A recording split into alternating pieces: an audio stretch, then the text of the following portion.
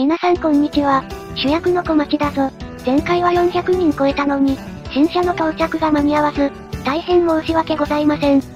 改めまして、チャンネル登録者数が、400人突破しました。ありがとうございます。というわけで今回の新車は、輝き、200系、大阪環状線、イエローハッピートレイン、多分101系、の5両となります。そして今回のコースは画面の通りです。それでは400人突破記念、新車バトルを開始します。さあ1戦目、新車で形式など間違ってる車両、特に101系が何とそうかが全然わからないので、コメント欄で教えてほしいです。さあ1戦目は様子見でしょうか ?8 両も車両がいるのに、誰1両として脱落していません。今回結構長期戦になりそうですね。編集に時間がかかるパターンだ。まあそんなことはどうでもいいですが、おっと、200系と大阪環状線脱落。運送の VSE が大阪環状線の妨害で倒される。101系も脱落。十字レールでの撃破が多発していますね。そしてまさかの減衰の肉森さんも、脱落してしまう。さあ一気に展開した。残り3両になりました。そして久しぶりのマックスの20倍速。完全にコースの設計が原因で、全く車両が激突しない。これは決着まで長くなりそう。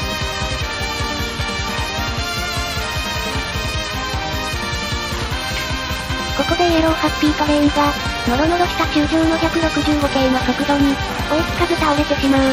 さあ残った車両は165系と輝きです。どちらが勝利するのでしょうか？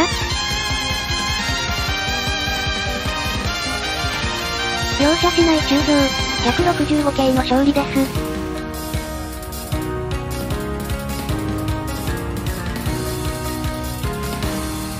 2戦目、そういえば、当チャンネルの概要を見た方なら、わかると思いますが、400人突破したので、対戦者バトルの募集を再開しようと思います。まあたまに応募しようかな、という気分で、ぜひ応募してみてください。それでは実況へ、YHT が輝きとの乱闘で敗れる。輝きも攻撃を食らったのか、弱っている時に減衰により倒される。さあ次々と展開してますね。101系が軍曹により脱落。200系が倒されそのまま帰宅。さあ残り4両へと減りました。新車で残っている車両は大阪環状線だけですね。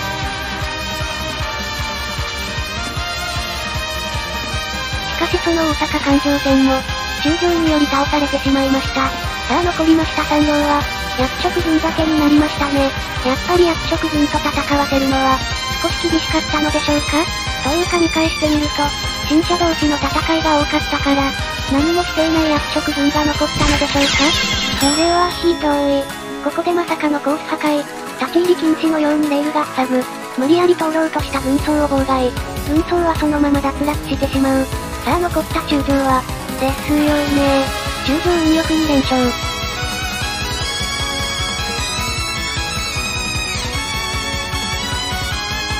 さあラスト。今のところ新車5両とも、初勝利できていないので、どの車両でもいいので、初勝利してほしいところですね。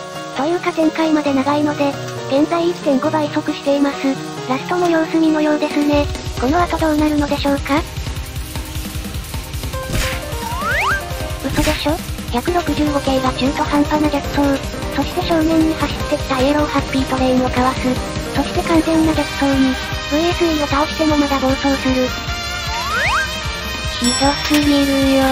実況が本当に追いつかない。165系に続き大阪環状線まで逆走する。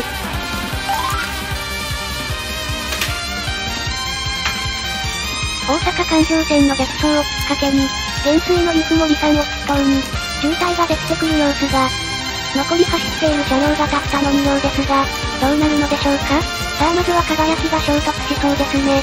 3両来たらさすがに大阪環状線も倒れるか全然変わらない。輝きまでストップしてしまい、残る1両は101系だけに、これは結構厳しい状況だと思います。さあどうなるのでしょうか？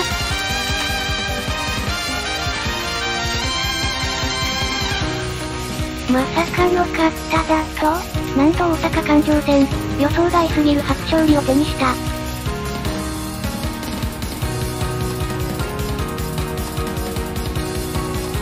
というわけで今回はいかがでしたか？まさか逆走が1試合で2度も起きたのは、初めてだと思います。そして今回から、メンバーが60両になりました。最初は18両だったのに、かなり増えましたね。という感じで今回はここまででございます。ご視聴、ありがとうございました。